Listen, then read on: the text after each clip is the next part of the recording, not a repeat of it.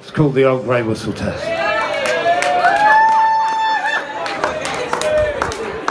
With the drum solo from Mark Garfield in the middle. Garfield and Garfield, first time in history. And you're there to witness it. Come on, give him a big hand. He needs a bit of it. Yeah. All right. This is history in the making. This is.